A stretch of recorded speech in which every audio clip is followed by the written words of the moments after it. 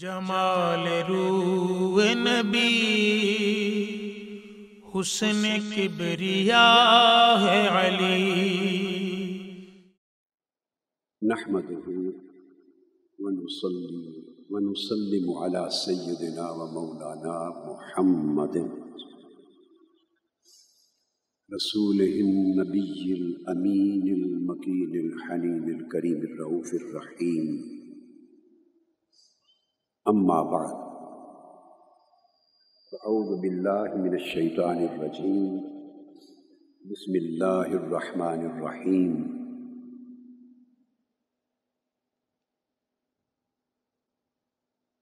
انما يريد الله ليذهب عنكم الرجس اهل البيت ويطهركم تطهيرا. صدق الله مولانا العظيم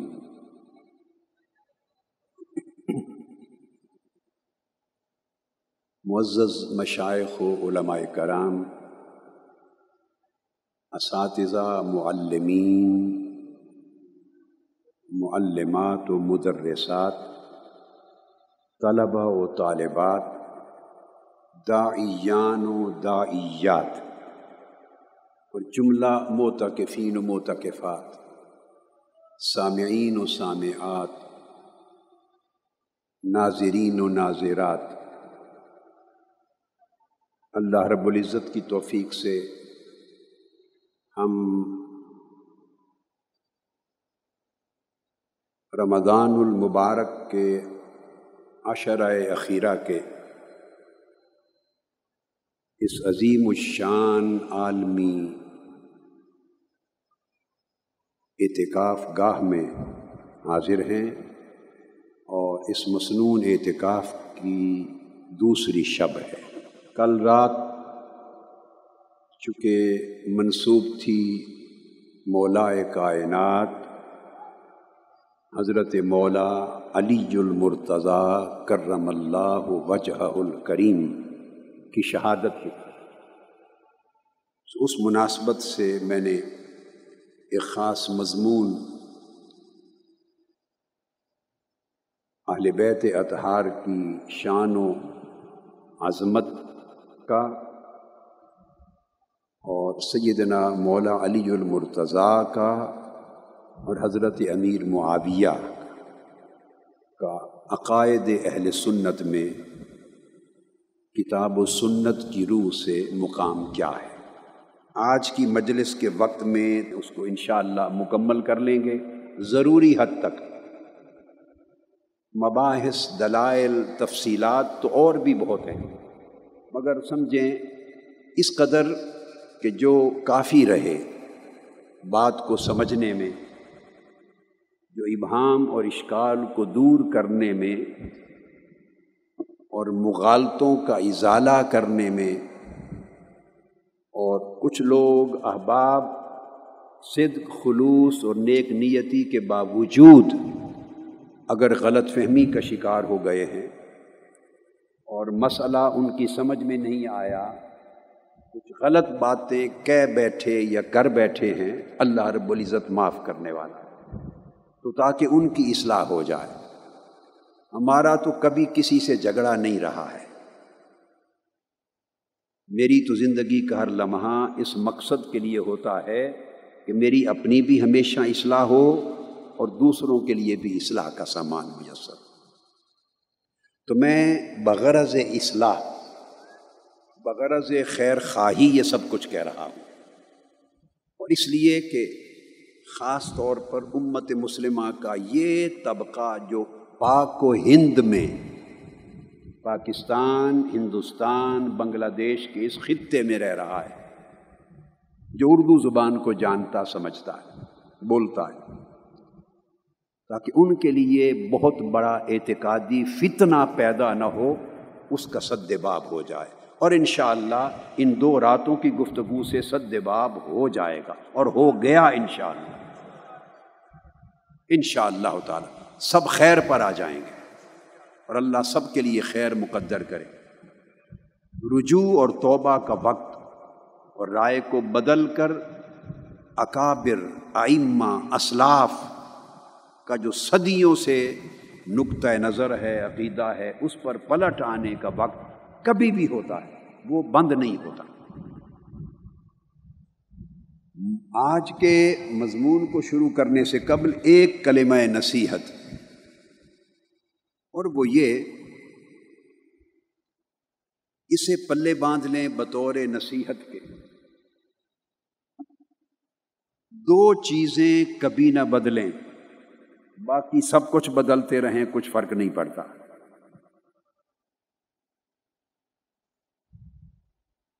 کپڑوں کے رنگ بدل لیں، کپڑوں کے ڈیزائن بدل لیں، مگر شرافت اور متانت کے دائرے میں۔ گاڑیوں کے ماڈل بدل لیں، موٹر سائیکل، سکوٹر کے ماڈل بدل لیں، کار کے ماڈلز بدل لیں، گھر کے ماڈل اور ڈیزائن اور اس کی آرکیٹیکچرل ڈرائنگز بدل لیں، سائز بدل لیں۔ کھانے بدل بدل کے کھائیں، مگر حلال کے دائرے میں۔ اسراف و تبذیر کے بغیر۔ شہروں کے ڈیزائن بدل لیں، اس کی شہروں کی جو پلاننگ ہے وہ بدل لیں۔ جو چاہیں بڑی وسعت ہے بدلنے میں، بڑی وسعت ہے، بدلتے چلے جائیں۔ مگر دو چیزیں کبھی نہ بدلیں۔ ایک عقیدہ۔ عقیدہ و فکر قیامت کے دن تک کبھی نہ بدلے۔ دنیا بدلتی رہے مگر آپ کا عقیدہ کبھی نہ بدلے۔ اور دوسرا اہم چیز کیا ہے؟ آپ کی سیرت و کردار۔ اخلاق، سیرت و کردار۔ اس میں اخلاق، سیرت و کردار میں وہی نور رہے جو پہلوں کے زمانے میں تھا۔ اس میں وہی تقوا رہے جو اگلوں کے ہاں تھا۔ اس میں وہی پرہیز گاری رہے جو پہلوں کے ہاں تھی۔ اس میں وہی زندگی میں، من میں اللہ اس کے رسول کی محبت کی، عبادت کی تقوا کی، طاعت کی، پرہیزگاری کی، یقین کی، ایمان کی، عرفان کی، معرفت کی، وہی چمک دمک اور روشنی رہے جو پہلے زمانوں میں تھی۔ سیرت و کردار نہ بدلیں، زمانے کی ہواؤں کے بدلنے کے ساتھ سیرت و کردار اور اخلاق نہ بدلیں۔ ساری دنیا بدل جائے مگر عقیدہ و فکر نہ بدلیں۔ جو عقیدہ اور فکر ہمیشہ سے چودہ سو سال سے، پھر بارہ سو سال کا زمانہ، پھر ہزار سال، پھر آٹھ سو سال، سات سو، چھ سو، پانچ سو، چار سو، تین سو، یہ مختلف عدد بتا رہا ہوں۔ دیکھتے رہیں، اس زمانے کے عقیدے کیا تھے؟ اب آپ چاہیں کہ وہ کیسے معلوم ہو؟ ہم تو اس زمانے میں زندہ نہیں تھے۔ آپ زندہ نہیں تھے، کتابیں تو زندہ ہیں۔ ان زمانوں میں آئمہ نے کتابیں لکھ دی، اپنے عقائد بیان کر دیے، وہ کتابیں آج تک موجود ہیں۔ بس ان کتابوں کے ذریعے، اکابر کی کتابوں کے ذریعے، ائمہ مجتہدین کی کتب کے ذریعے، عظیم محدثین اور فوکہ کی کتب کے ذریعے۔ صلف صالحین کی کتب اور تعلیمات کے ذریعے جو عقیدہ آپ کو ملتا ہے، اس پر قائم اور دائم رہیں، رتی برابر تبدیلی گوارا نہ کریں۔ اگر آپ یہ اصول رکھ لیں گے، میں نے اس لیے بتایا کہ دنیا زوال پذیر ہے، ہر شے میں زوال ہو رہا ہے۔ آج سے آپ پچاس برس پیچھے چلے جائیے۔ صرف پچاس برس، آپ میں سے ہر شخص جو کم و بیش پینسٹھ، ستر برس یا اس سے زائد برس کا ہے۔ وہ سوچے وہ ذرا پچاس برس پیچھے چلی جائے، اپنے محلے کے گلی کوچوں کو دیکھے، اپنی چشم تصور میں۔ اپنے پچاس برس پہلے کا گھر اور ارد و نوا کے گھروں کو دیکھے، گلی کوچوں کو دیکھے۔ اس وقت کے بزرگوں، جوانوں، بچوں، عورتوں، مردوں، بچیوں کے حالات کو دیکھے۔ چشم تصور میں، جو حیا، جو شرم، جو دین، جو تقوا جو پرہیزگاری، جو عبادت گزاری، جو تہجد گزاری، جو نوافل، جو دین سے محبت، جو اللہ کی محبت، اس کے رسول کی محبت، بزرگوں کا حیا، ادب، احترام، تعظیم، انسانی قدریں، پچاس برس پہلے آپ کو زندگی میں گلی کورچوں میں زندہ قدریں نظر آتی تھیں۔ ایمان سے کہیے، وہ آج نظر آتی اونچا بولیے۔ نظر آتی ہیں؟ زمانہ بدل گیا نا؟ تو ترقی پر گیا یا زوال پر گیا؟ دیکھو، سائنس ہو تو وہ ترقی کر رہی ہے۔ میڈیکل سائنس ترقی کر رہی ہے، کیمسٹری ترقی کر رہی ہے، فزکس ترقی کر رہی ہے۔ یہ جو ماڈرن سائنسز ہیں، علوم ہیں، انسانی، وہ ترقی کر رہے ہیں۔ کیونکہ ان میں ہر آنے والا کچھ نیا دے گا اور آپ کو آگے لے جائے گا۔ مگر دین میں ترقی نہیں۔ دین جو مصطفیٰ نے دیا، اس سے بہتر قیامت تک کوئی نہیں دے گا۔ جو صحابہ کرام دے گئے، اہل بیت اطہار دے گئے، تابعین دے گئے، اتباع التابعین دے گئے صرف صالحین دے گئے، اولیاء امت دے گئے اور علماء ملت اور اکابر دے گئے۔ ان سے بہتر دین، اخلاق، تقوی، پرہیزگاری، عقیدہ اور فکر کوئی نہیں دے گا۔ تمسک کریں، جمے رہیں، اس میں نہ بدلیں۔ الیکٹرانک میڈیا کا زمانہ ہے، دنیا گلوبل ولیج بن گئی ہے۔ مشرق سے مغرب، شمال، جنوب، ایک یکجا ہو گئے ہیں۔ ہر چیز کے اثرات آ رہے ہیں انسانی ذہن پر، فکر پر، طبیعت پر، مزاج پر، اخلاق پر، من پر، تن پر، ہر شے پہ اثرات آ رہے ہیں۔ اور ان اثرات کے باعث زندگی انفرادی اور اجتماعی طور پہ تیزی سے بدلتی جا رہی ہے۔ اس بدلتی ہوئی زندگی میں تیز رفتار بدلتی ہوئی زندگی نے آپ نے عقیدے کو پرانا رکھنا ہے۔ عقیدے کو پرانا رکھنا ہے۔ زندگی آپ کا تن نئے دور میں داخل ہوتا رہے، من پرانے دور سے باہر نہ نکلے۔ یہ ہے آپ کے قدیم زمانے اور جدید زمانے میں ملاپ۔ اگر اس پر اہتمام کریں گے تو آپ کو میری ساری باتیں تیرہ سو سال کی تاریخ میں ہر دور میں ہر کتاب کے صفحات پہ نظر آئیں گی۔ میں اللہ کے حضور حق بات کہہ رہا ہوں، آپ کو گواہ بنا کر میں نے کچھ نیا نہیں دیا انسانیت کو، امت مسلمہ کو، آج کی نسلوں کو، صرف بھولا ہوا سبق یاد دلایا ہے۔ صرف وہ سبق جو بھول گئے لوگ، جو زمانے نے بلا گئے، ہرس و حوث نے بلا دیے۔ دنیا کی بد اعتقادی اور برے افکار و نظریات کی آندھیوں نے جو مٹا دیا، جو یاد نہ رہے۔ سیاسی حالات کے دباؤ نے، معاشی حالات کے دباؤ نے، طبقات کے ملاپ کے دباؤ نے، جو سبق پرانے بھولے گئے، میں بھولے سبق یاد دلا رہا ہوں۔ نیا کوئی سبق نہیں لا رہا۔ وہ پرانے سبق ہیں، وہ بھولے سبق یاد دلاتا ہوں۔ اس کلمہ نصیحت کے بعد کل کا مضمون شروع کرتے ہیں۔ آخری حصہ اس کا انشاء اللہ تعالی۔ آپ کو یاد ہوگا، کل میں نے ختم کیا تھا جو مشاجرات صحابہ کے عنوان کے تحت۔ صحابہ کرام رضوان اللہ تعالی علیہ مجمعین کے درمیان کچھ معاملات ہوئے۔ سیاسی واقعات ہوئے، حکومتی واقعات ہوئے، کچھ وقائع، کچھ حادثات، کچھ مخاسمات کچھ تنازعات بتقاضۂ بشری پیش آ گئے۔ اور وہ نہ ہو تو انسان انسان نہیں ہوتا۔ یہ انسانیت کا حصہ ہے۔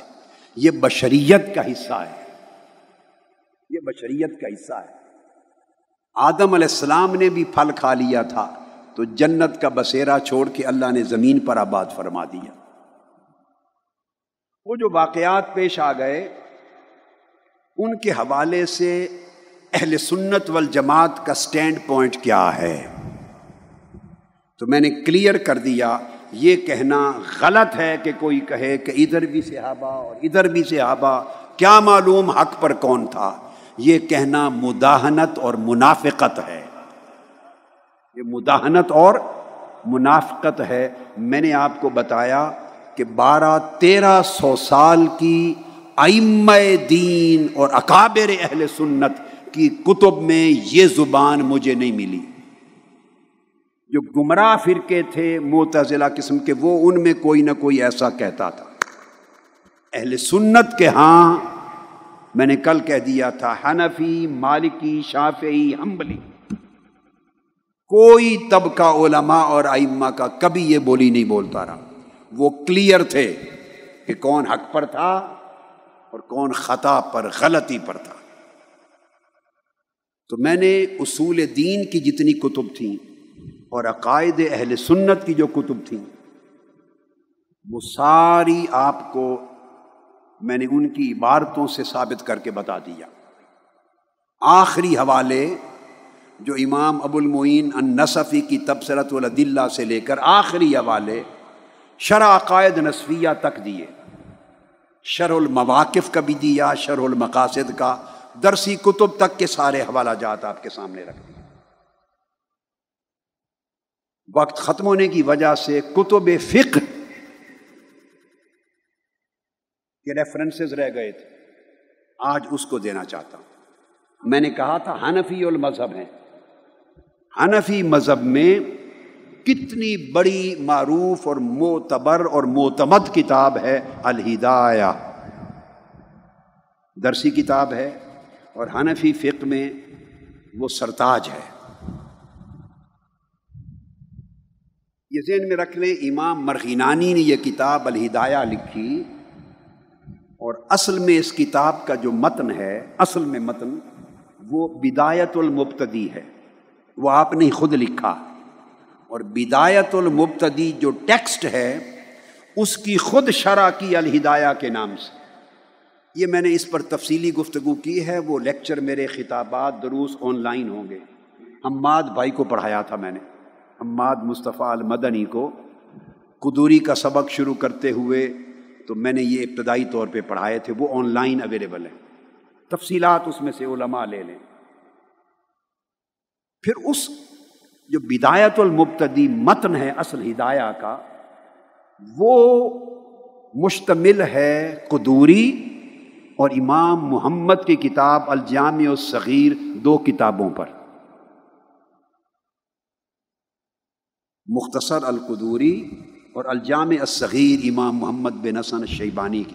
ان دو کتابوں کو ملا کے پہلے قدوری کو لیتے ہیں امام مرغینانی، بعد میں الجامع الصغیر کو۔ ان دو کتابوں پر مشتمل وہ متن ہے۔ پھر حسب ضرورت کتاب الاصل، کتاب المبسود ان سے اور دیگر جو کتب اصول ہیں ان سے پھر لے لیتے یہ شرح اس کی امام مرغینانی نے خود لکھی۔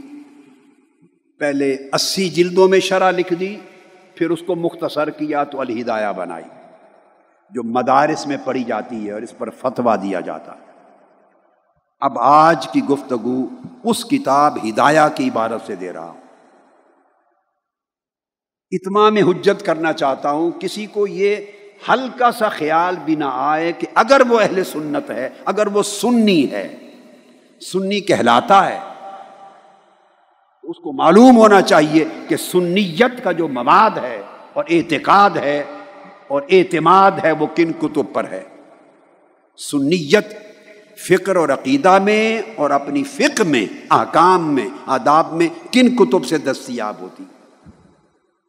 اس لیے ابھی اس موضوع پر لایا ہوں، الہدایہ۔ الہدایہ میں امام مرغینانی نے ایک کتاب قائم کی ہے، ادب القاضی۔ جج کے آداب کیا ہے؟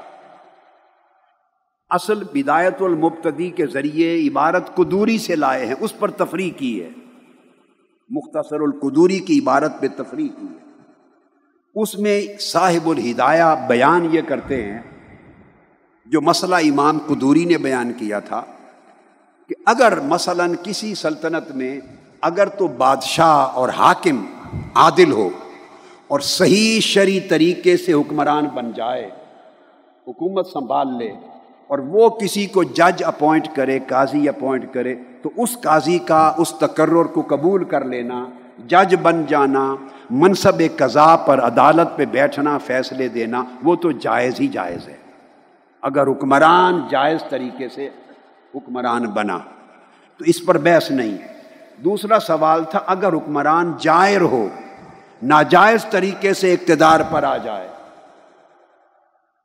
حکمران جائز نہ ہو بلکہ جائر ہو۔ نکتا لگ جائے، زے بن جائے تو کہتے ہیں جائز۔ اور نکتا ہٹ جائے، رے بن جائے تو کہتے ہیں جائر۔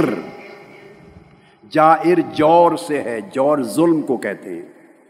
اگر میں احتیاط کے ساتھ غیر عادل کا لفظ بولوں گا، اب میں نے آپ کو لفظ کا معنی سمجھا دیا۔ اب گفتگو میں میں یہ لفظ نہیں بولوں گا۔ آئمہ نے لکھا ہے۔ وہ اپنے لکھے کے خود ذمہ دار ہیں، وہ بڑے لوگ ہیں۔ میں چھوٹا ہوں۔ میں اب آپ کو سمجھا چکا، وہ لفظ جائز کے مقابلے میں، عادل کے مقابلے میں جائر لکھتے ہیں۔ جور سے، ظلم سے، ناجائز طریق سے کوئی حکمران بناؤ۔ اب میں جائر کا لفظ نہیں بولوں گا، میں بولوں گا عادل یا غیر عادل۔ غیر عادل حکمران ہو تو سوال پیدا ہوتا ہے، وہ کسی کو جج مقرر کرے۔ تو وہ منصب جو جج مقرر کیا گیا، وہ منصب قبول کرے یا نہ کرے، وہ تقرر جائز ہوگا یا نہیں۔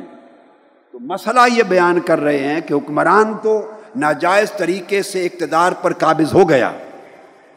اور لوگ اس کو ہٹا نہیں سکے، روک نہیں سکے، وہ بات الگ ہو گئی، ایک چیپٹر ہے۔ مگر عدالت کا تعلق عامت الناس کے مسائل سے ہوتا ہے۔ لوگوں کے دکھ، ظلم ہیں، مسائل ہیں، مظالم ہیں، ان کا حل ہے۔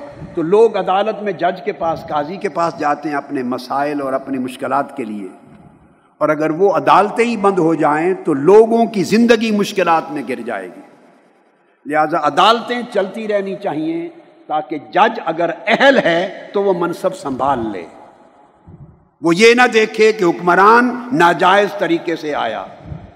حاکم جس نے جج کو مقرر کیا، اس کا ظلم یا جور یا ناجائز ہونا نہ دیکھے اگر خود اہل ہے اور وہ کسی اہل، اچھے آدمی کو جج اور قاضی مقرر کر رہا ہے، وہ منصب لے لے تاکہ لوگوں تک انصاف پہنچے ان کی ذاتی زندگی۔ میں یہ بات سمجھ گئے؟ یہ مسئلہ ہے جو کتب فکر میں درج ہوا ہے۔ یہ بحث ہے۔ اس بحث میں وہ کہتے ہیں کہ خود تو ولایت بھی طلب نہ کرے اور قضا بھی، جج بننا بھی طلب نہ کرے، گورنری بھی طلب نہ کرے، سلطنت کا عہدہ بھی طلب نہ کرے۔ مگر ثم یجوز التقلد من السلطان الجائر کما یجوز من العادل۔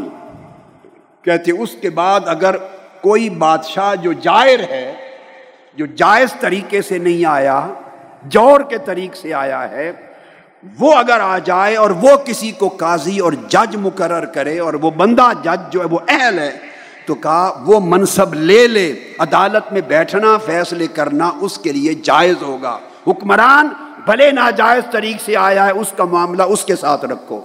یہ عام انسانوں کے مسائل زندگی کے دکھ میں، پریشانی میں مبتلا نہ ہو، اس کا منصب عدالت سنبھالنا اور بیٹھنا قضا کے منصب پہ فیصلے کرنا جائز ہوگا۔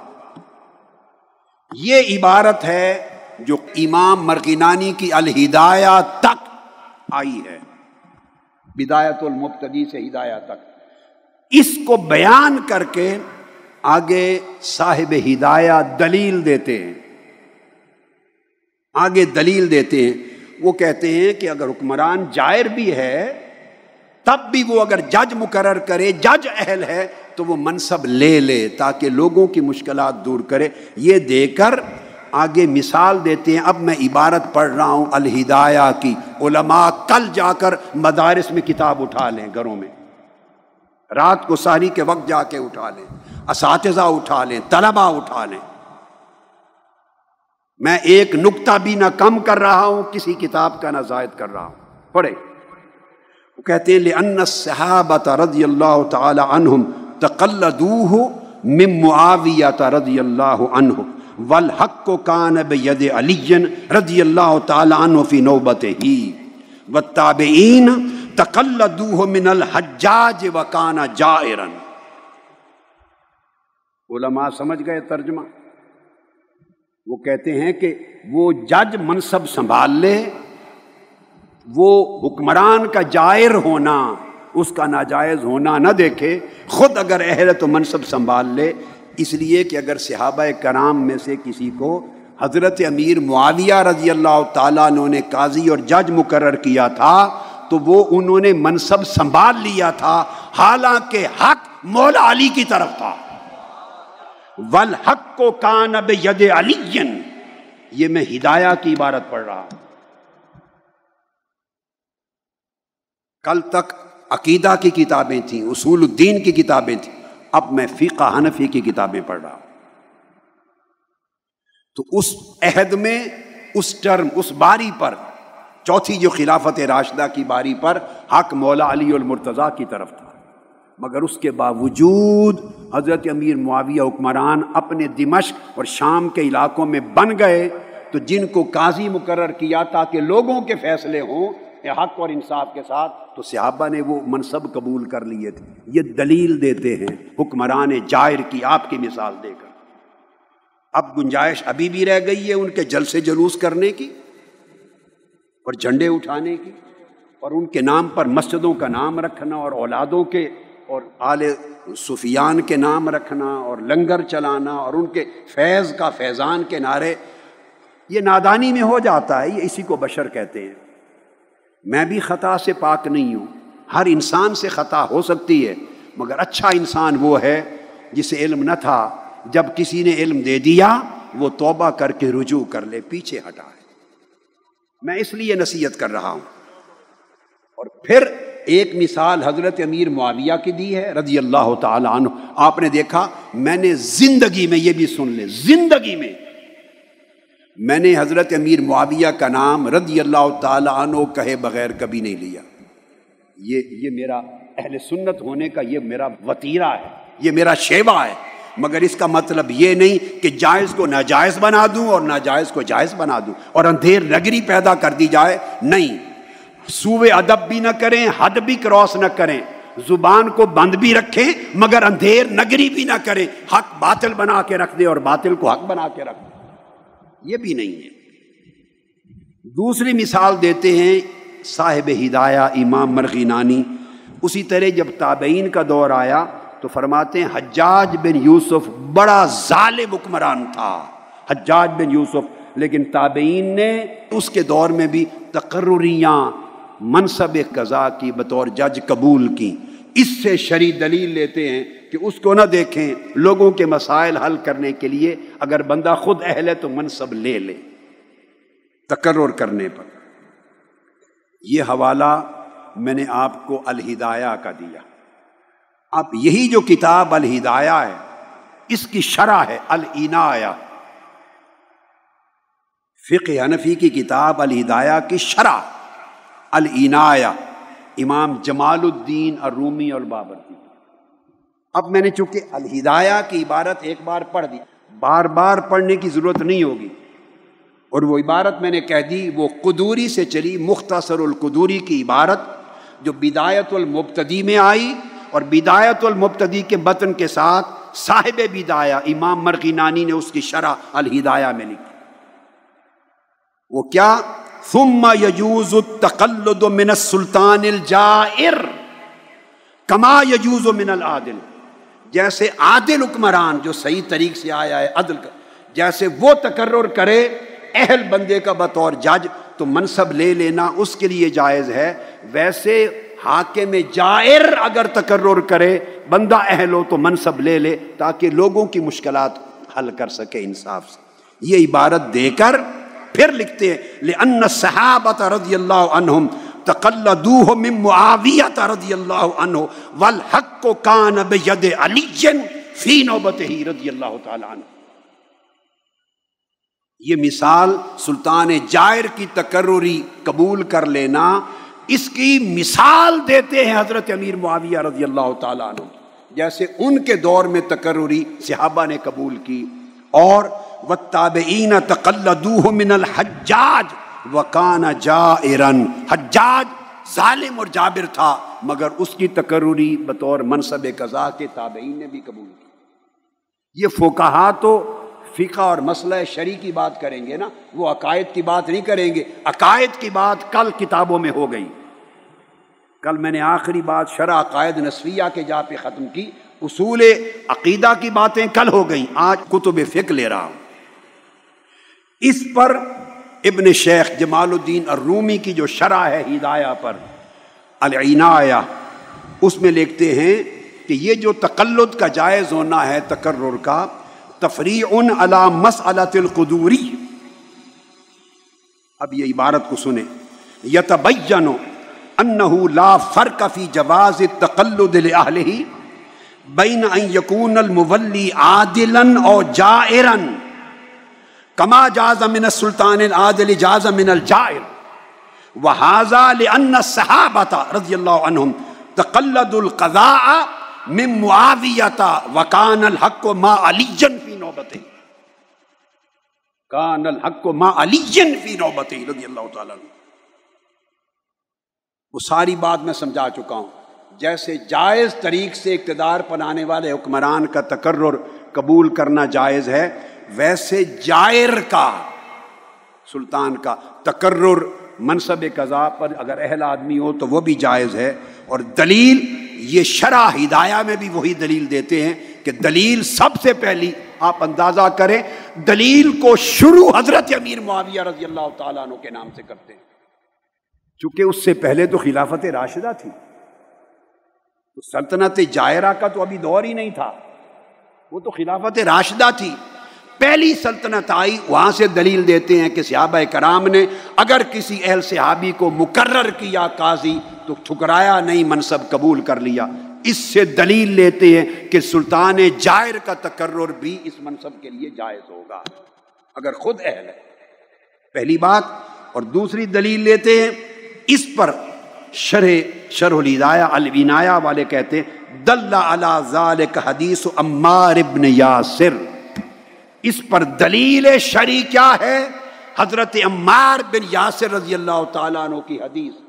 اور جو حدیث میں کل بڑی تفصیل سے بیان کر چکا ہوں، وہ حدیث متفق علیہ ہے۔ قرآن مجید کی آیت کے بعد علماء، محدثین کا طریقہ یہ ہے، روش یہ ہے۔ قرآن کے بعد متفق علیہ حدیث کو لیتے ہیں اور اس کی حجیت اتنی قطعی جانتے ہیں۔ اس میں چون و چرا کرنے کی گنجائش نہیں ہوتی۔ اور یہ حدیث متفق علیہ ہے۔ جب آقا علیہ السلام نے فرمایا، افسوس، کاش عمار بن یاسر ایک باغی گروہ کے ہاتھوں شہید ہوگا، اس کو قتل کرے گا باغی گروہ۔ وہ دلیل دے کر یہ کرتے ہیں کہ حضرت امیر معاویہ رضی اللہ تعالیٰ عنہ کا تقرر اس لیے منصب قضا عدالت میں بطور جج قبول کر لیا تھا کہ وہ سلطان جائر کا تقرر جائز ہے اور جائر ہونے کی دلیل کہتے ہیں، آقا علیہ السلام کے فرمان سے بڑھ کر کائنات شریعت میں کوئی دلیل نہیں ہے۔ آپ نے فرما دیا تھا کہ امار کو فیا باغیہ، ایک باغی گروہ قتل کرے گا اور ان کو حضرت امیر معاویہ اور ان کے لشکر کے لوگوں نے شہید کیا تھا۔ ہر کتاب نے اس کو دلیل بنایا ہے۔ اس کے بعد آگے سنتے چلے آئیے۔ یہ شرح ہو گئی اور پھر کہتے ہیں وہ علماء الصلف و تابعین تقلدوہ من الحجاج و جورہ مشہور فی دوسری دلیل دیتے ہیں کہ تابعین میں سے لوگوں نے منصب قضا قبول کیا، جن کو مقرر کیا تھا حجاج بن یوسف نے، اور کہتے ہیں اس کا ظلم و جور عالم میں مشہور ہے۔ حضرت امیر معاویہ وہ رضی اللہ تعالیٰ عنہ ہوئے، ان کو بچا گیا شرف صحابیت۔ بس، زبان بند کر دی، کف لسان۔ آگے نہیں بول سکتے۔ اہل سنت کی حد ٹوٹتی ہے۔ مگر حق اپنی جگہ حق ہے۔ حق کے بیان کرنے میں کسی نے بخل نہیں کیا۔ جھنڈے چودہ سو سال میں کسی نے نہیں اٹھائے تھے ان کے نام کے۔ جل سے جلوس ان کے لیے کسی نے نہیں کیے تھے۔ ان کا فیضان کسی نے جاری نہیں کیا تھا۔ اب علماء اور اساتذہ جانتے ہیں کہ ہدایہ کی سب سے بڑی، سب سے بڑی عظیم الشان شرح اور جو حنفی مذہب کے لیے، احناف کے لیے بہت بڑا ذخیرہ علم ہے، وہ فتح القدیر، امام ابن الحمام کی۔ فتح القدیر یہ ہدایہ کی شرح۔ اب میں فتح القدیر کی عبارت لے رہا ہوں۔ یہی مقام ادب القاضی کا، یہی عبارت۔ ثم یجوز التقلد من السلطان الجائر کما یجوز من العادل۔ اسی عبارت کے تحت امام ابن الحمام فتح القدیر میں لکھتے ہیں، مختصر عبارت سن لیجیے۔ یہ اب فتح القدیر کی عبارت ہے۔ علماء اس کتاب کو آگے رکھ کر فتوے لکھتے ہیں۔ اس سے فقہ حنفی لیتے ہیں۔ اس سے اپنا مذہب لیتے ہیں۔ وہ لکھتے ہیں حاضا تصریح بے جور معاویہ رضی اللہ تعالیٰ عنہ، والمراد فی خروج ہی لا فی اقدیت ہی یہ تصریح ہے کہ حضرت معاویہ رضی اللہ تعالیٰ عنہ کا دور، جو حکمرانی کا ان کا دور تھا، جو انہوں نے خروج کیا مولا علی شیر خدا کی طرف، وہ کہتے ہیں، اس میں اس عمل کے عمل جائر ہونے کی سراحت ہے۔ اور کہتے ہیں اس کا مطلب جور کا یہ نہیں کہ آپ نجی فیصلوں میں، عدالتی فیصلوں میں بھی معذ اللہ ظلم اور جور کرتے تھے، یہ نہیں۔ بات سلطنت کی ہو رہی ہے۔ خلافت راشدہ کے خلاف اور مولا علی المرتضی کے خلاف خروج کرنے کی بات ہو رہی ہے۔ اس وجہ سے جائر کہا ہے۔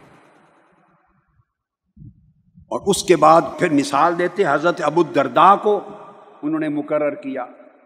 پھر بیان کرتے ان نما کان الحق کو ماہو اے ما علی رضی اللہ تعالیٰ عنہ، فی تلک نوبہ لصحت بیعتہ و انعقادها فکان علی الحق فی قتال معاویہ تب صفین امام ابن الحمام لکھتے ہیں، حق بغیر شک و شبہ کے مولا علی المرتضی کی طرف تھا۔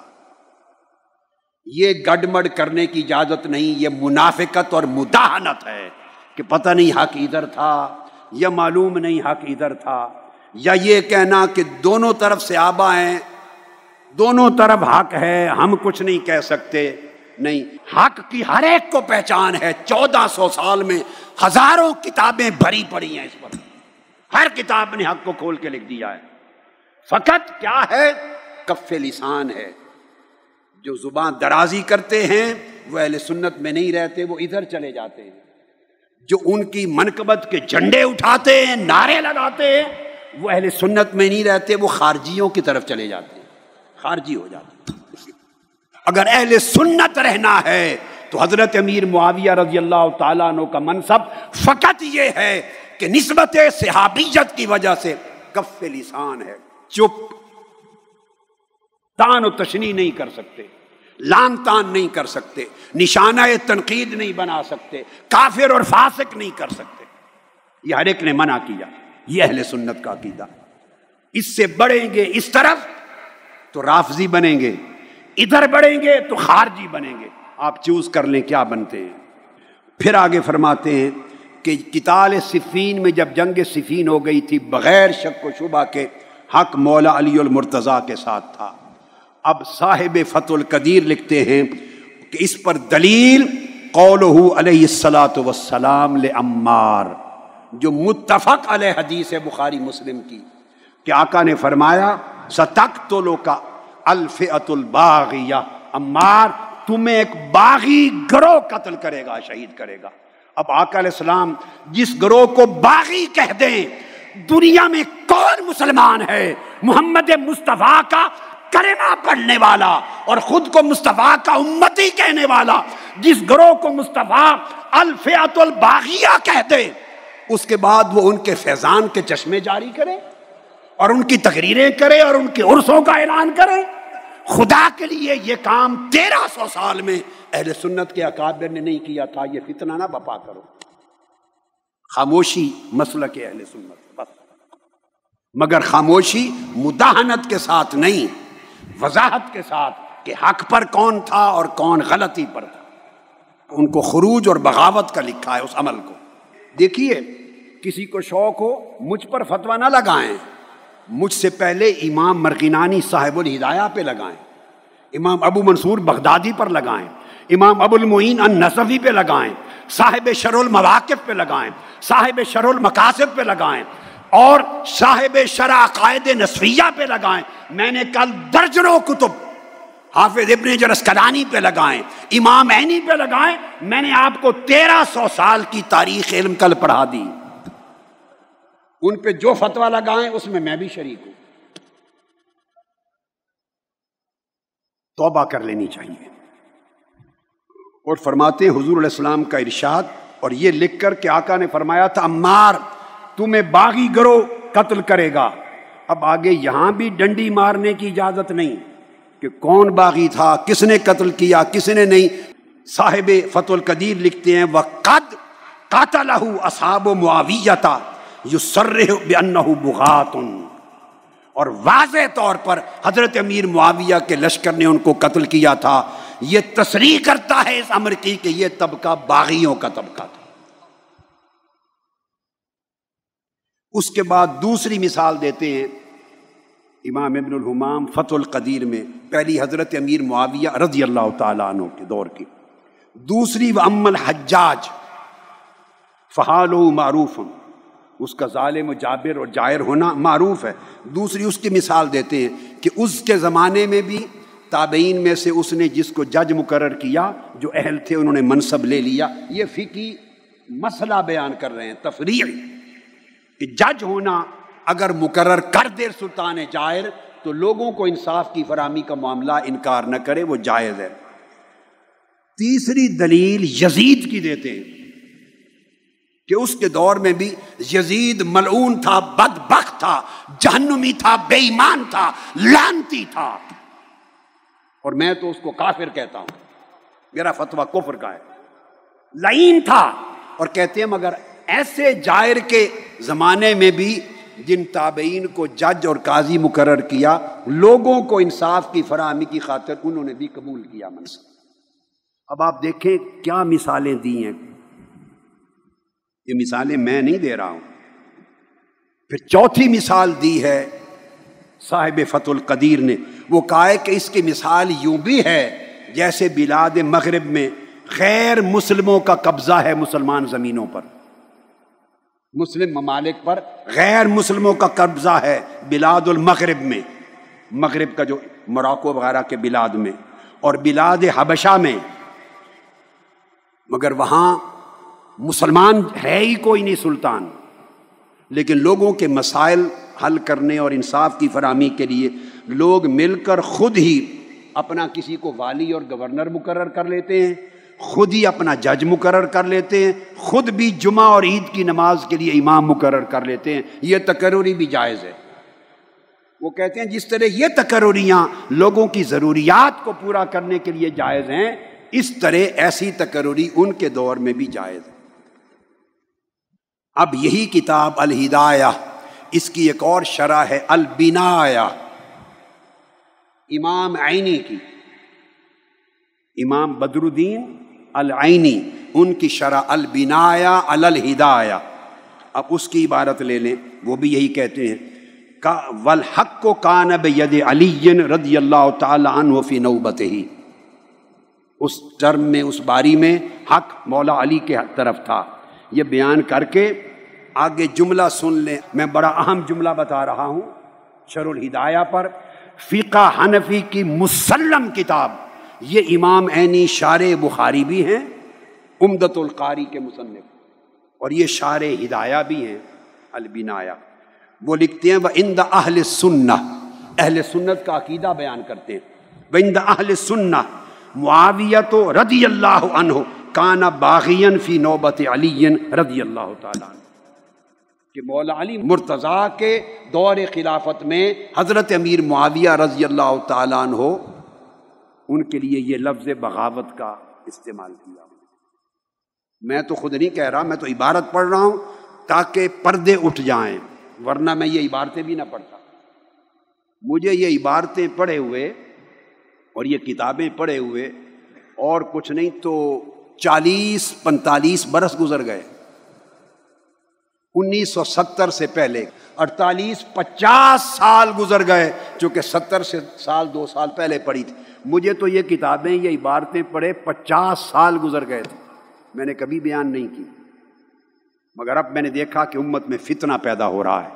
لوگوں کے عقیدے اور اہل بیت اتھار کے ساتھ نسبت، محبت اور مودت اسے متزلزل کیا جا رہا ہے۔ میرا فرض تھا، میں نے جواب دے ہونا ہے اپنے مولا، اللہ کی بارگاہ میں، کہ میں وہ پردے اٹھاؤں، غفلت کے، نادانی کے اور لوگوں کو حق دکھاؤں۔ وہ کہتے ان دا اہل سننا فرق سن لیں۔ فرق سن لیں، اہل سنت اور اہل تشیع۔ دو میں فرق یہ ہے، وہ زبان بند نہیں رکھیں گے، وہ جو ان کی جی میں آتا ہے، کہیں گے۔ وہ اہل سنت کے ہاں حرام ہے۔ ہم کف لسان کریں گے۔ نام لیں گے، رضی اللہ تعالیٰ عنہ کہہ کر۔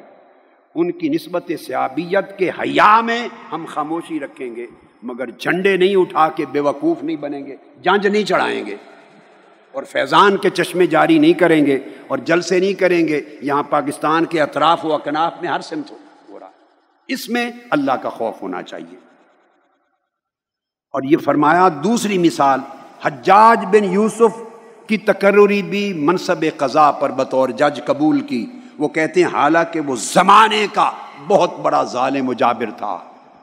وہ مثالیں دے رہے ہیں اور آگے لکھتے ہیں کہ حجاج بن یوسف وہ شخص تھا کہ جب اس کی موت ہو گئی، مر گیا، تو امام حسن بصری رضی اللہ تعالیٰ انہوں نے خبر سنی اس کی موت کی۔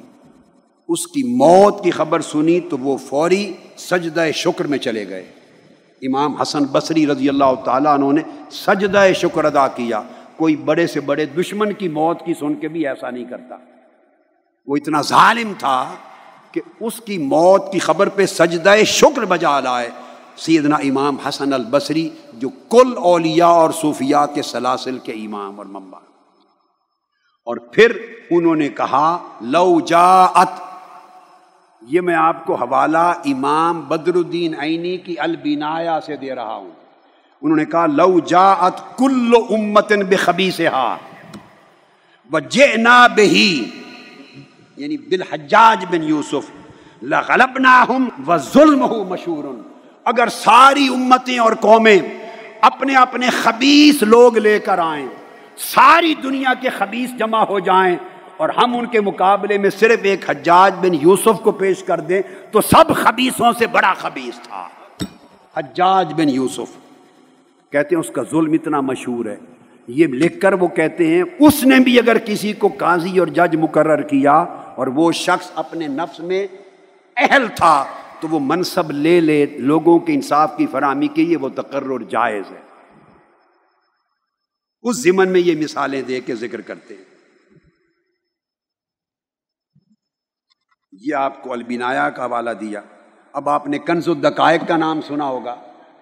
کنز الدقائق بھی بہت بڑا عظیم متن ہے، امام نصفی کا، ابو البرکات ان نصفی کا۔ اس کی شرح ہے البحر الرائق۔ البحر الرائق۔ یہ کنز الدقائق کی شرح ہے، امام ابن نجیم الحنفی کی۔ سند ہے اتھارٹی ہے فقہ حنفی کی۔ اب وہ بھی بیان کرتے ہیں وہ قول ہو وہ یجوز و تقلد القضاء من السلطان العادل والجائر ومن اہل البغی۔ اگر بغاوت کر کے ظلم اور جور کے طریق سے یا بغاوت کے طریق سے بھی کوئی قابض ہو گیا اور سلطان بن گیا، مگر اس نے بطور جج اور قاضی کسی شخص کو مقرر کیا عدالت میں، لوگوں کے انصاف کی فراہمی میں جو اہل شخص تھا، تو کہا اس اہل شخص کا بطور جج اس کے ہاتھوں مقرر ہونا اور عدالت میں بیٹھنا جائز ہے۔ وہ بیان کرتے ہیں جائر اور اہل بغاوت کی طرف سے۔ اور مثال دیتے ہیں لے ان صحابت تقلدوہ من معاویتا والحق کو کان بید علی رضی اللہ تعالیٰ عنہ اس کی دلیل یہ ہے کہ صحابہ جج مقرر ہوئے حضرت معاویہ رضی اللہ تعالیٰ عنہ کے دور میں، جبکہ حق مولا علی کی طرف تھا۔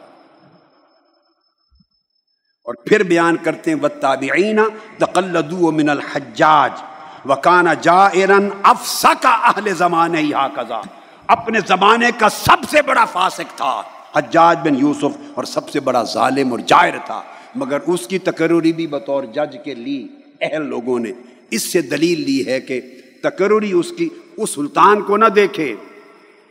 وہ لوگوں کی ضروریات اور اپنی اہلیت کو دیکھے۔ یہ البحر الرائے اٹھائیے کتابیں، اساتذہ اٹھائیں، طلبہ اٹھائیں۔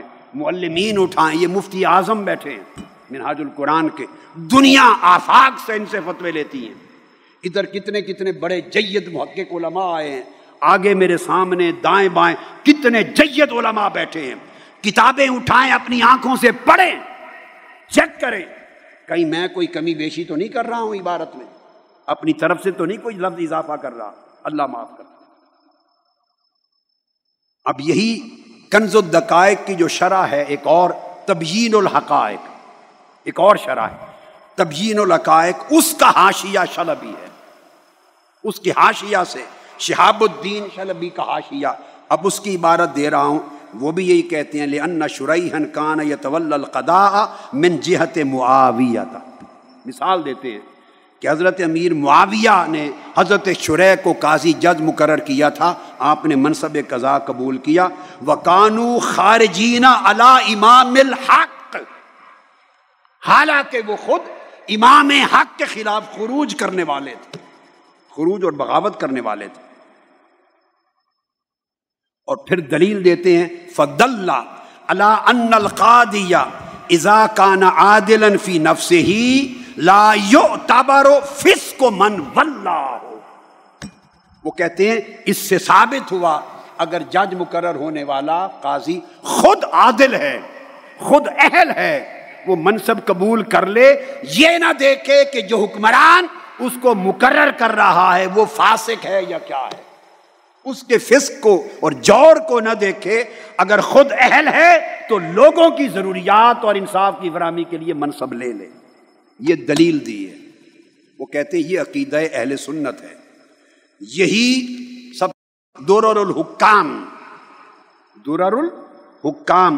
ایک اور فقہ انفی کی بڑی بڑی کتابوں میں سے ہے۔ میں نے آپ کو چند موٹی موٹی کتب فقہ سے دلائل پیش کر دیے کل کتب العقائد سے تھے، آج کتب فکر سے کر دیے آخری حصہ اس گفتگو کا، آخری۔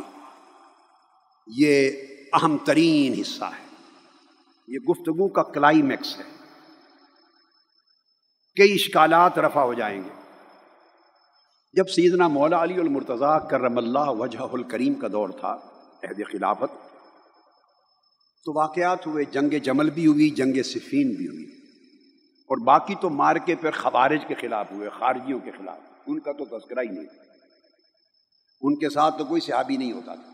وہ تو خوارج تھے، شیطان تھے۔ ادھر بتقاضۂ بشریت، جیسے پروپیگنڈا ہوتا ہے، جیسے ماحول کے اثرات ہوتے ہیں، جیسے بندہ ججمنٹ کرتا اسیسمنٹ کرتا ہے، اس میں مغالطے ہوتے ہیں، کوتاہی ہوتی ہے، یہ بشری تقاضے ہیں۔ اس میں بعض واقعات میں بعض صحابہ کرام بھی دوسری سمت کھڑے تھے۔ بعض صحابہ کرام بعض واقعات میں دوسری سمت کھڑے ہو گئے۔ یہ خطا انسان سے ہو جاتی۔ ایک نقطہ ذہن میں رکھ لیں صحابہ کرام ہونے کا معنی فرشتہ ہونا نہیں ہے کہ وہ ملائکات کی طرح معصوم تھے۔ یہ تصور غلط ہے۔ کسی نے نہیں لکھا۔ اللہ کا نبی معصوم ہوتا ہے۔ اس کے بعد معصوم نہ کوئی صحابی ہوتا ہے، نہ کوئی ولی۔ نہ کوئی صحابی، نہ کوئی ولی۔ اللہ کے نبی کے بعد امت میں کوئی معصوم نہیں ہوتا۔ محفوظ ہوتے ہیں، خطا ہو سکتی ہے۔ خطا ہو سکتی ہے، مگر اللہ والے ان سے خطا ہو، جو اکابر لوگ ہیں، تو اللہ پاک ان کو توفیق توبہ دیتا ہے، توفیق رجوع دیتا ہے۔ بعض واقعات میں بعض صحابہ کرام دوسری سمت آئے۔ اب یاد رکھ لیں، جو بھی آیا جن کو علیہ السلاط سلام نے بشارت جنت دی تھی، یا وہ اکابر صحابہ میں سے تھے، وہ یا وہیں طائب ہو گئے؟ اور وہ پالٹی چھوڑ کے مولا علی المرتضیٰ کے جھنڈے کے نیچے آ گئے۔ یا جو لوگ نہ جا سکے اس مارکے میں ہی، نہ ادھر نہ ادھر، اور عمر بھر پچھتاتے رہے، کاش میں مولا علی کے زیر سایہ تلوار اٹھا کے ان کے حق میں جنگ لڑتا۔ یہ صحابہ کرام کا عقیدہ بتانا چاہتا ہوں۔ سب سے پہلا حوالہ اس باب میں کہ جو لوگ مولا علی المرتضیٰ کے ساتھ ان کے لشکر میں شامل نہ ہو سکے، کسی بیماری کے باعث، کسی عذر کے باعث رہ گئے اپنے گھروں میں، آپ کے لشکر میں نہیں جا سکے، مخالف سمت بھی نہیں گئے، مگر آپ کے ساتھ جا کر آپ کے جھنڈے کے نیچے لڑ نہیں سکے۔ گھر میں رہ گئے، مجبوری اور عذر کی وجہ سے وہ بھی پچھتاتے رہے۔ صحابہ کرام کی سوچ۔ اس میں امام قرطبی کا حوالہ دے رہا ہوں، اپنی کتاب التذکرہ میں لکھتے ہیں۔ امام قرطبی جو صاحب تفسیر ہیں الجامع حکام القرآن۔ امام قرطبی، التذکرہ صفحہ چھ سو سینتیس پر آپ لکھتے ہیں کہ حضرت عبداللہ بن عمر رضی اللہ تعالیٰ عنہ ان صحابہ میں سے تھے جو کسی عذر کی وجہ سے گھر رہے۔ بیماری ہے، آدمی بستر پر ہے، مجبوری ہے، جا نہیں سکا سفر پر۔ وہ نہ شریک ہو سکے آپ کے ساتھ۔ وہ کہتے ہیں کہ وفات سے قبل عمر بھر وہ پچھتاتے رہے۔ اور یہ ان کے کلمات تھے، وہ سن لیجیے۔ وہ کہتے تھے نادم علا تخلف ہی ان نصرت علی ابن ابی طالب فقال عند رضی اللہ تعالیٰ عنہ، فقال عند موته ما آسی علا شیء ما آسی علا ترکی قتال الفیت الباغیہ یعنی فیت معاویہ رضی اللہ تعالیٰ عنہ۔ کہتے ہیں، مجھے زندگی میں کسی شے کے ترک کرنے کا اتنا رنج اور دکھ اور ملال نہیں جتنا اس چیز کا ملال ہے کہ میں مولا علی شیر خدا کے لشکر میں شامل ہو کر حضرت امیر معاویہ کے لشکر کے خلاف جنگ کرنے میں شریک ہونے سے کیوں رہ گیا؟ وفات سے قبل بھی یہ کلمات ان کی زباں پر تھے۔ مجھے آج تک ملال ہے کہ میں محروم رہ گیا اس عادت سے۔ کاش میں آپ کے جھنڈے کے نیچے کھڑا ہو کے لڑتا فیائے باغیہ کے خلاف، باغی گروہ کے خلاف۔ اور جو حضرت امیر معاویہ رضی اللہ تعالیٰ عنہ کا لشکر تھا۔ پھر امام ابن عبد البر نے لکھا ہے اپنی کتاب الاستیاب میں۔ الاستیاب امام ابن سعد نے بیان کیا طبقات میں، علامہ زہبی نے بیان کیا سیر و علام نبلا میں۔ اٹھا لیں حضرت عبداللہ ابن عمر کے تراجم، ان کے حالات آپ کو سب ملیں گے کہ وہ فرماتے تھے، ما سی شعین اللہ انی لم اقاتل ما علی ما اہل الفیت الباقیہ۔ مرتے دم کے اس لمحے تک مجھے افسوس ہے۔ کاش میں مولا علی المرتضی کے لشکر میں جاتا اور آپ کے جھنڈے کے نیچے باغی گروہ کے خلاف جنگ کرتا۔ میں کسی عذر کی وجہ سے محروم رہ گیا اس سعادت سے۔ یہ عبداللہ ابن عمر رضی اللہ تعالیٰ عنہ کا عقیدہ ہے۔ ان کا قول ہے۔ پھر یہی بات امام شابی بیان کرتے ہیں۔ امام شابی اور اس کو امام ابن الاسیر نے اسد الغابہ فی معرفت صحابہ یہ کتاب معروف کتاب ہے اسد الغابہ معرفت الاصحاب کے اندر بڑی معروف کتاب ہے، امام ابن الاسیر کی۔ اس کی جلد چار صفحہ تینتیس پر امام شابی کا قول۔ اور وہ کہتے ہیں کہ حضرت مسروق بن اجدہ، ایک تابعی ہیں، حضرت مسروق۔ جلیل القدر تابعی اور مفسر تابعی ہیں۔ کہتے ہیں کہ وہ مولا علی شیر خدا کے ساتھ اپنی کسی ذاتی عذر اور مجبوری کے باعث وہ بھی آپ کے لشکر میں جا ہی نہیں سکے تھے۔ صفین کی جنگ میں گھر رہ گئے۔ اور وہ کہتے ہیں کہ وفات سے قبل وہ بھی پریشان تھے۔ اور امام شابی روایت کرتے ہیں کہ وفات سے قبل صرف اس عمل پر کہ وہ حضرت علی البرتضا کے جھنڈے کے نیچے تلوار اٹھا کر اس باغی گروہ کے ساتھ جنگ میں شریک نہیں ہوئے، اس کے خلاف جنگ نہیں کر سکے۔ اس پر انہوں نے اللہ کے حضور توبہ کی۔ باری تعالیٰ مجھے معاف کر دینا۔ حضرت مسروق بن اجدہ نے توبہ کی۔ اور امام ابن عبد البر لکھتے ہیں کہ اس واقعہ کی استیاب میں بہت سے طوروں کے سیاح ہیں جنہیں اپنے موقع پر ہم نے بیان کیا ہے، جو سارے اس طرح کی چیزوں کو روایت کر رہے ہیں۔ اس کے بعد یہی چیز جو میں نے پہلے بیان کی، اس کو امام حاکم نے بھی المستدرک میں بیان کیا اور امام بحقی نے السنن میں بیان کیا۔ کتال و اہل البغج کے تحت، اہل بغاوت کے ساتھ کتال کرنے کے باب میں حضرت عبداللہ بن عمر رضی اللہ تعالیٰ عنہ سے، اور وہ فرماتے ہیں، ما وجدت فی نفسی من شیئن من امر حاضر آیا اس آیت کے تحت مجھے اتنا دکھ ہے کہ میں اس فضیلت سے معروم رہ گیا۔ کاش میں تلوار اٹھا کر مولا علی المرتضی کی حمایت میں ان کے جھنڈے کے نیچے باغی گروہ کے خلاف صفین کی جنگ لڑتا۔ یہ میں نے امام حاکم اور امام بہکی کے سب حوالے دے دیے۔ اب حضرت طلحہ اور حضرت زبیر، یہ دو صحابی ہیں، حضرت طلحہ اور حضرت زبیر۔ پہلے حضرت طلحہ کی بات کرتے ہیں، رضی اللہ تعالیٰ عنہ۔ یہ مغالطے کی بنا پر، جیسے میں نے پہلے بھی عرض کر دیا، یوم جمل میں، جمل کے دن، جنگ جمل کے دن، یہ دوسری سمت تھے۔ حضرت طلحہ رضی اللہ تعالیٰ عنہ، کئی لوگوں کو مغالطہ ہو گیا تھا۔ سیدنا عثمان غنی رضی اللہ تعالیٰ عنہ کی شہادت کے بعد ایک پروپیگنڈا تھا، جنہوں نے شہید کیا تھا۔ انہی بلوائیوں نے ایک لشکر بنا لیا اور مولا علی شیر خدا کے خلاف سفارہ ہو گئے۔ خود قاتلین عثمان ان کے خون کا بدلہ مانگنے والے بن گئے۔ ایک عجیب تماشا کر دیا تھا، ایک سازش تھی۔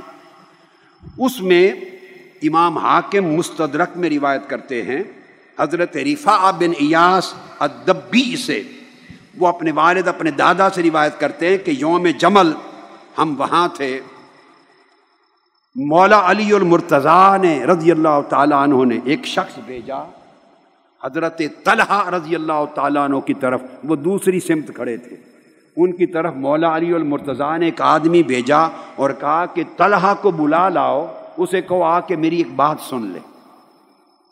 اس شخص نے حضرت طلحہ رضی اللہ تعالیٰ عنہ کو پیغام دیا، آپ فوری مولا علی المرتضیٰ کی خدمت میں آ گئے۔ مولا علی المرتضیٰ نے فرمایا، میں تمہیں خدا کی قسم دیتا ہوں۔ اے میرے بھائی طلحہ، تمہیں خدا کی قسم دے کے کہتا ہوں کہ تم نے اپنے کانوں سے تاجدار کائنات صلی اللہ تعالی علیہ وآلہ وسلم کی زبان اقدس کے یہ الفاظ سنے ہیں یا نہیں؟ جب آقا فرما رہے تھے، من کن تو مولا ہو فعلی مولا، جس کا میں مولا ہوں، اس کا علی مولا ہے۔ اور اس کا معنی یہ ہوا، جس کا علی مولا نہیں، جو علی کو مولا نہیں جانتا میں اس کا مولا نہیں ہوں۔ تم نے یہ کلمات آقا کی زبان سے سنے کہ نہیں؟ جب نے فرمایا، اس وقت ان کی آنکھیں چشمان مقدس کھلی ٹھٹر گئے۔ کہنے لگے کالا نام ہاں۔ سنے تھے یہ الفاظ۔ آپ نے پوچھا، پھر میرے مقابلے میں دوسری سمت کیوں کھڑے ہو؟ انہیں کہا، خدا کی قسم، مجھے یاد نہیں رہے۔ تھے اسی لمحے توبہ کرتا ہوں۔ اسی لمحے توبہ کی۔ اور توبہ کر کے پلٹ گئے۔ توبہ کر کے پلٹ گئے، مزاحمت چھوڑ دی۔ اب میں دوستوں کو، احباب کو، مخلصین کو کہتا ہوں، وہ تو مولا علی مرتضی نے بلا کے توبہ کروا لی۔ تمہیں توبہ آج کون کروائے گا؟ تمہیں کون بتائے گا آ کر؟ تم کس کے کہنے پہ توبہ کرو گے؟ تم کب رجوع کرو گے؟ آپ تک میں نے مولا علی المرتضی کی اور زبان مصطفیٰ سے یہ کلمات کی آواز پہنچا دی۔ اب انہی آقا کے فرمان پہ خود توبہ کر لو۔ ہمیں کوئی کریڈٹ نہ دیں، نہ ضرورت ہے۔ اصلاح پر آ جاؤ۔ اس کو امام حاکم نے المستدرک میں روایت کیا۔ جلد تین صفحہ چار سو انیس اور حدیث نمبر پانچ ہزار پانچ سو چورانوے۔ اب پھر امام حاکم نے پھر روایت کیا، امام ابن سعد نے طبقات میں روایت کیا، حافظ ابن حجر اسکلانی نے المطالب العالیہ میں روایت کیا اور امام ابن عبد البر نے الاستیاب میں بیان کیا۔ امام ابن عبد البر انہوں نے بیان کیا، لا تختلف العلماء الثقات فی ان مروانا قتل طلحتا کہ اس مسئلہ پر سکا علماء میں کوئی اختلاف نہیں ہے۔ کوئی اختلاف نہیں ہے کہ جب حضرت طلحہ نے مولا علی شیر خدا کی زبان سے یہ کلمات سنے اور کہا، خدا کی قسم، میں نے زبان مصطفیٰ سے یہ بات سنی تھی۔ من کن تو مولا ہو فالی مولا ہو مگر زین سے اتر گیا تھا۔ اب یاد آ گئے، وہ طائب ہو کر مڑ گئے۔ جب واپس جا رہے تھے وہ لشکر چھوڑ کر۔ تو امام ابن عبد البر اور امام حاکن امام ابن سعد اور حافظ ابن جرس کلانی سب بیان کرتے ہیں کہ اس پر کوئی اختلاف نہیں۔ جب ان کو پلٹتے ہوئے دیکھا، مروان نے، مروان بنو میاں کے لشکر کا ایک بڑا لیڈر تھا۔ مروان نے دیکھا، اس نے پیچھے سے تیر مار کر حضرت تلا کو شہید کر دیا مروان نے قتل کر دیا، شہید کر دیا حضرت تلا رضی اللہ عنہ۔ اس سے آپ اندازہ کر سکتے ہیں کہ جنگ جمل کے پیچھے سازش کن لوگوں کی تھی۔ مروان نے قتل کر دیا۔ امام باقی لانی اہل سنت کے بہت بڑے امام ہیں، عشاعرہ کے۔ وہ اپنی کتاب تمید الاوائل میں لکھتے ہیں۔ وہ کہتے ہیں کہ حضرت طلحہ قال شاب بن من عسکر علی۔ جب تیر لگا اور حضرت طلحہ رضی اللہ تعالیٰ عنہ اپنی جان جان آفری کو پیش کر رہے تھے۔ ان کی روح قفص انسری سے پرواز کر رہی تھی۔ شہادت ہو رہی تھی۔ تو قریب ایک جوان کو دیکھا۔ بلایا، خوبصورت جوان، کون ہو؟ اس نے کہا، میں مولا علی کے لشکر کا ایک سپاہی ہوں۔ آپ نے فرمایا، امدد یدک ابائے اوکا لے امیر المومنین علی ابن ابی طالب۔ اے جوان میں تو دنیا سے جا رہا ہوں شہید ہو کر، ہاتھ آگے کرو اور گواہ ہو جاؤ، میں تمہارے ہاتھ پر مولا علی اور مرتضی کے لیے بیعت کرتا ہوں۔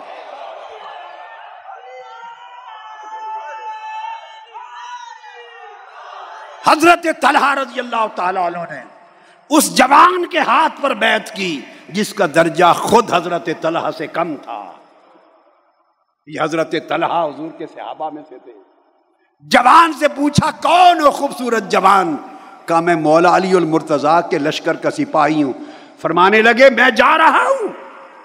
جام شہادت پی رہا ہوں۔ ہاتھ بڑھاؤ، گواہ ہو جانا۔ حضرت علی کو بتا دینا کہ میں نے آپ کے ذریعے ان کے ہاتھوں پر بیعت کر لی ہے۔ یہ جھنڈے اٹھانے ہیں تو علی کے اٹھاؤ۔ جلوس نکالنے ہیں تو ان کے نکالو فیضان کے چشمے جاری کرنے ہیں تو ان کے جاری کرو۔ یہ عقیدہ اہل سنت ہے۔ اور پھر امام ابن سعد نے اسی واقعہ پر چھ روایات سیاح روایت کی ہیں۔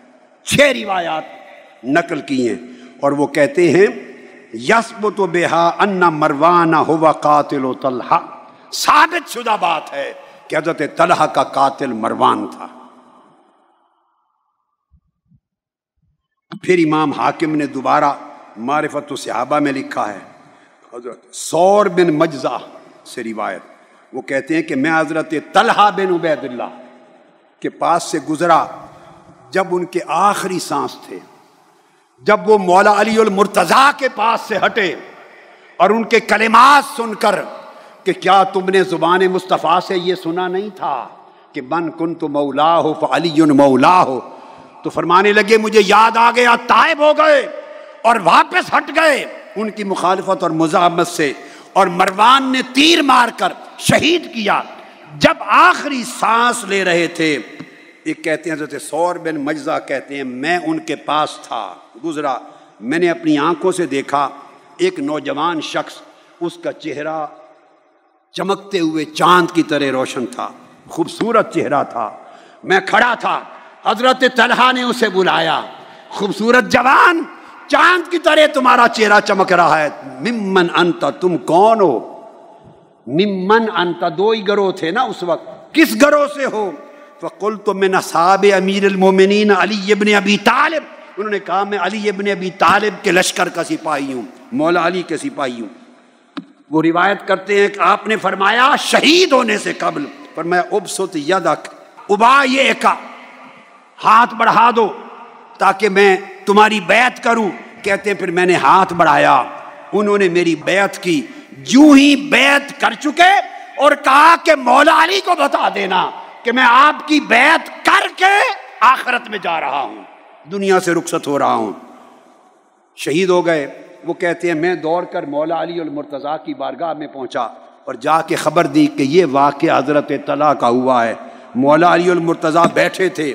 جو ہی واقعہ سنا، بے ساختہ پکار اٹھے، فرمانے لگے، اللہ اکبر اللہ اکبر سادہ کا رسول اللہ صلی اللہ علیہ وآلہ وسلم، اب اللہ ان یدخل طلحتا الجنہ الا بیعتی فی عنقہی۔ فرمانے لگے، اللہ اکبر، حضور علیہ السلام کا وعدہ سچا ہے، اللہ نے طلحہ کو اس وقت جنت میں داخل ہونے کی اجازت دی جب اس نے میری بیعت اپنے گلے میں ڈال لی اس وقت تک جنت کا دروازہ بند رہا۔ جب تک میری بیعت، چونکہ خلافت راشدہ کا دور تھا، تو اس کے گلے میں میری بیعت کا توق پڑا، تو جنت کے دروازے رب کریم نے کھول دیے۔ اور میں میرے مصطفیٰ نے سچ فرمایا تھا۔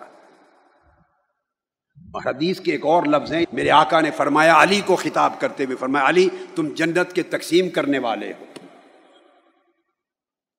تمہارے اوپر فیصلہ ہوگا جو تجھ سے محبت کرنے والے جنت میں جاتے ہیں، بغض رکھنے والے دو زخ میں جاتے ہیں۔ اب یہ تو حضرت طلحہ کی بات تھی یہاں تک۔ اب دوسرے سیابی حضرت زبیر حضرت زبیر رضی اللہ تعالیٰ عنہ اب یہ مسند ابو یالا کا حوالہ دے رہا ہوں۔ جلد دو، صفحہ انتیس۔ اور حدیث کا نمبر چھ سو چھیاسٹھ۔ اور اسی حدیث کو حیثمی نے مجمع و زوائد میں بھی روایت کیا۔ اور امام ابن جرس کلانی نے المطالب العالیہ نے بھی اس کو بیان کیا۔ وہ روایت کرتے ہیں کہ سیدنا مولا علی المرتضیٰ نے حضرت زبیر کو بلایا۔ پہلے واقعات جو بیان کی حضرت طلحہ سے متعلق تھے۔ اب حضرت زبیر کی بات۔ وہ سامنے آئے تو مولا علی المرتضیٰ نے کہا، میرے بھائی زبیر، تمہیں اللہ کی قسم دیتا ہوں۔ اللہ کی قسم دے کے پوچھتا ہوں، اسمعت رسول اللہ صلی اللہ علیہ وآلہ وسلم؟ کیا آپ نے اپنے کانوں سے خود اپنے بارے میں یہ بات حضور کی زبان اقدس سے سنی ہے یا نہیں؟ اللہ کی قسم دے کے کہتا ہوں، بتاؤ کیا سنا تھا؟ انہوں نے پوچھا، کیا آپ نے فرمایا یقول ان کا تو قاتل و انت ظالم لی۔ آقا نے کیا آپ کو یہ کہا تھا کہ نہیں؟ کہ اے زبیر، تم میرے علی سے قتال کرو گے اور علی پر ظلم کرو گے۔ آپ نے پوچھا، اے زبیر، بتاؤ کیا مصطفیٰ نے آپ سے اکیلے کہا تھا کہ نہیں؟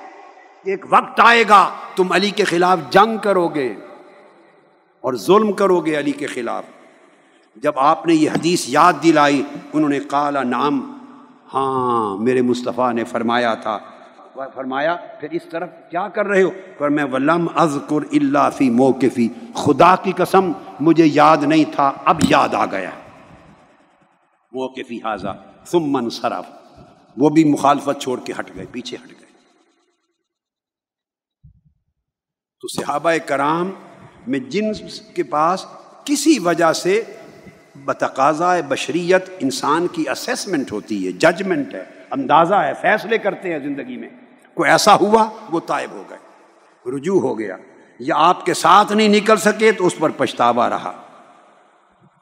اور علامہ زہبی نے بھی اس کو بیان کیا کہ مروان بن حکم نے حضرت طلحہ کو اس دن شہید کیا۔